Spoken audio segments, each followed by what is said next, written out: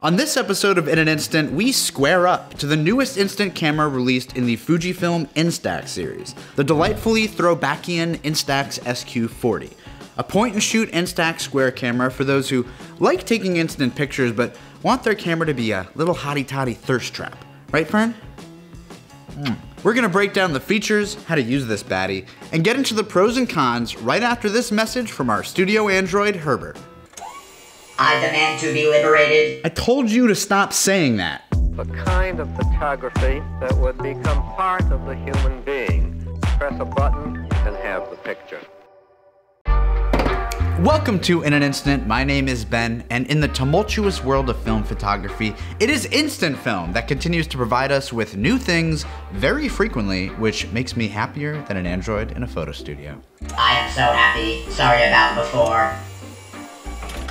Good.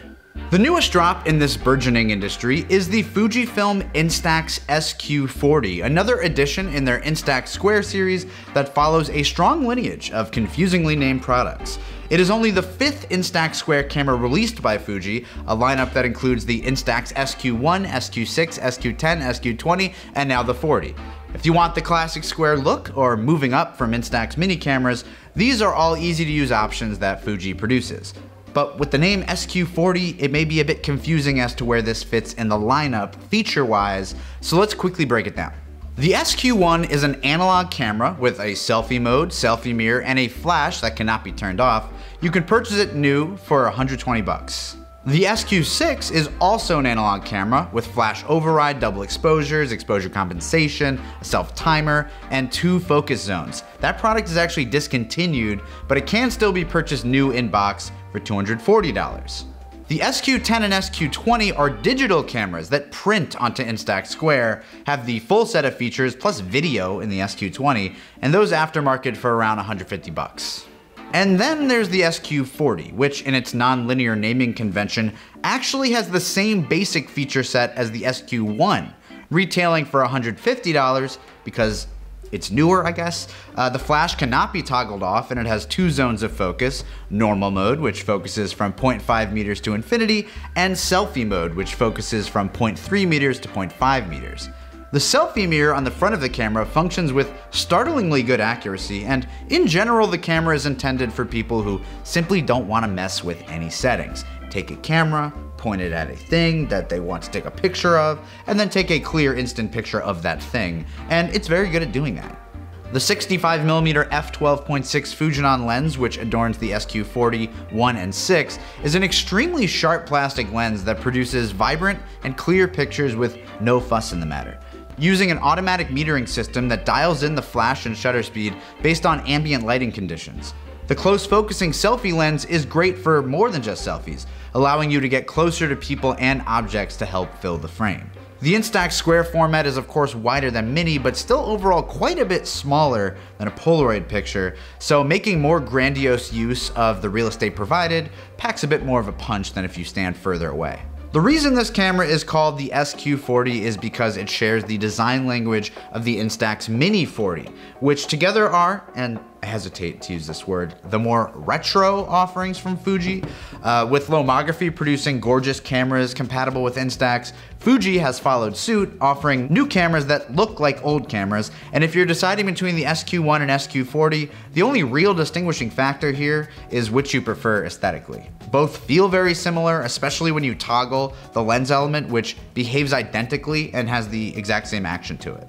Alrighty, let's do a quick tutorial on how to use the SQ40. Like I said, this is a very basic camera. You just toss two CR2 batteries into the grip and you're ready for action. Align the yellow tab on the Instax Square film pack with the line inside the camera.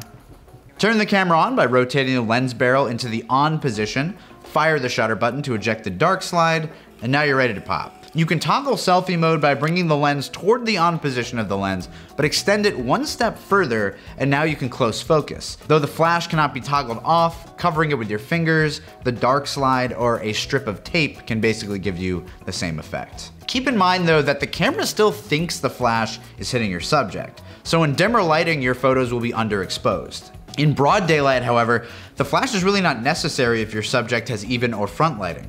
So you should be able to pull some crispy flashless photos with that one weird trick. If you're shooting a landscape or medium shot, the flash isn't really doing much for the cause anyway, and I find that flash is really only gonna cause unwanted reflections in foreground objects. Okay, let's dig into the pros and cons. Pros, ease of use. It is a simple camera to pick up and shoot. It lacks certain features purely because it isn't intended for users who want them.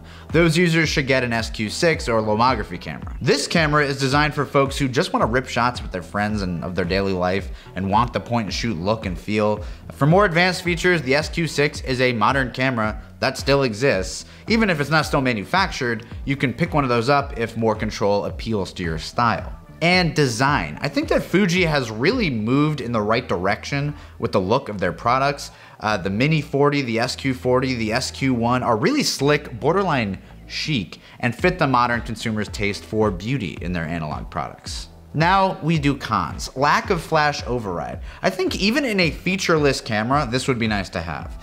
While you can cover the flash, the meter on the lens cannot compensate for that. It would be nice if you could just toggle the flash off properly and the meter could identify if more or less light was needed as a result. And the only other con is that Fuji hasn't made an Instax wide 40. Where are the Instax wide cameras at, baby? We are worried out here. We are very frequently worrying, okay? I live in a perpetual state of fear. Exactly. Thank you for watching in an instant. Please show mercy and bless that subscribe button. Stay tuned for more reviews, breakdowns, guides, and all things instant. Bye.